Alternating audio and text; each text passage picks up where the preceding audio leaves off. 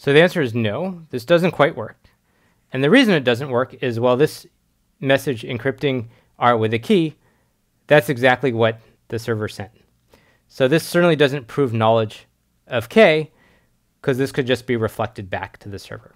So we need to do something a little different. Instead of encrypting just R, we need to encrypt something else that proves knowledge of K and R, but couldn't be generated just by replaying this. And so one way to do that would be to add another nonce. We're going to concatenate a new nonce here and encrypt the concatenation of those two.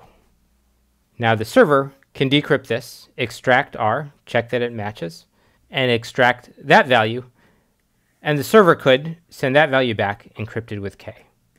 At this stage, both the server and the client have proved knowledge of the password. They've established a shared secret that they can use for further communication. And they've done this in a way so that even if there's an active attacker intercepting and modifying all these messages, if the attacker doesn't know the password P, they can't trick the client and server into believing that they're talking with each other or establishing a key that's different from the one that they would establish.